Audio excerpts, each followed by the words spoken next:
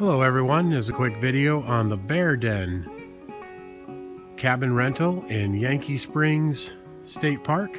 It's on the Chief Noonday property. View of a nice view of the lake.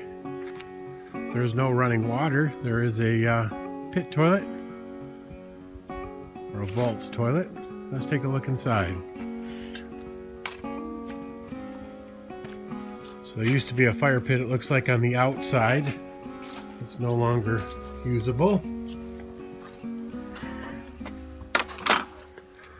All right, inside we have a heated cabin. We have electrical heat, little kitchen area, microwave, coffee pot, refrigerator.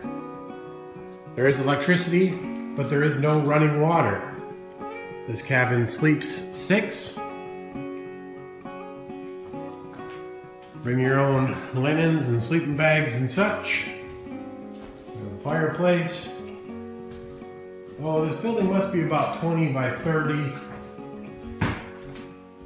approximately.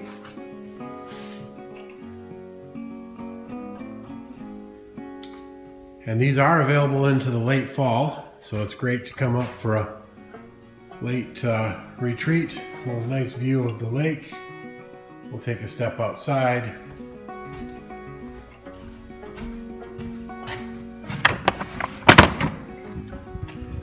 And you got a nice view of the lake, a picnic table, fireplace.